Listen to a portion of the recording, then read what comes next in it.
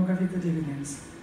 That demographic dividends cannot be achieved unless you meet all of the three following conditions. First is improvement in the health, especially the children's and women's health, will contribute both to the improved child survival and a decrease in the number of children born to a family, thus accelerating the population bulge in the cohorts who are entering the working ages.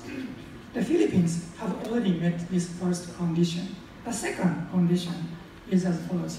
Those in the increasing working age cohort in the next generation benefit from the investment in health and education now that you save up some fiscal space by having fewer children than before. And the third and the final condition is that those who now enjoy better education and health can also find a well-paid, better jobs, decent work. This appears to be a challenge to me for the Philippines, given the high unemployment and underemployment rates, especially of young people and women.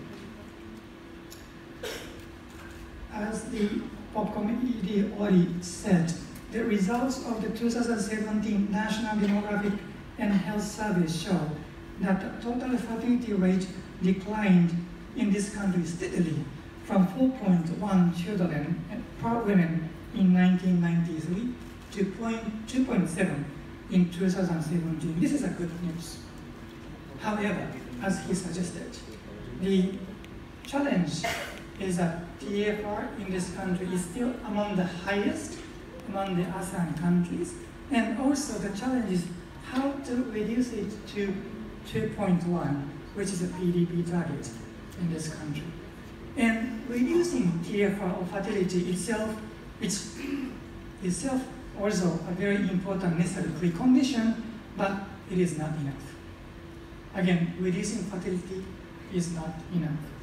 As I just mentioned, policy and programs for quality inclusive education, health, and decent employment must be in place to bring the country to maximize the demographic dividend.